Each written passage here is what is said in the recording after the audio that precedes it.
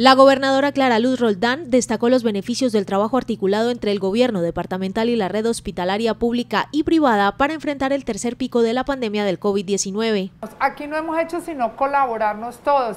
Y si de aquí Cali está lleno y llamamos a Tuluá, Tuluá nos ha albergado y nos ha abierto los brazos hasta Cartago en un momento dado. La unión es la que nos ha hecho que nos hayamos mantenido en una meseta y nuestros indicadores no sean tan altos como los de otros departamentos. El apoyo departamental a instituciones de salud de Buga y Tuluá con insumos, equipos biomédicos y recursos ha permitido hoy atender en UCI a pacientes del centro del Valle y otros municipios que lo requieren. Con ese apoyo irrestricto y gran apoyo que nos ha dado la gobernadora y nuestra secretaria de salud, pudimos implementar 75 camas de UCI y 35 camas de cuidados intermedios lo, importante de esto no solo es el número que pudimos eh, implementar de camas, sino también que se implementaron sin sacrificar ninguna de las otras camas del hospital.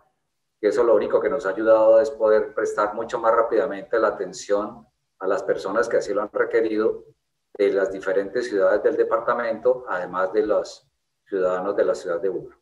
La gobernadora también destacó la disposición de la red de salud privada para disponer personal y recursos para la atención de pacientes en la SUSI y los aportes del gobierno departamental para la compra de medicamentos cuando ha sido necesario.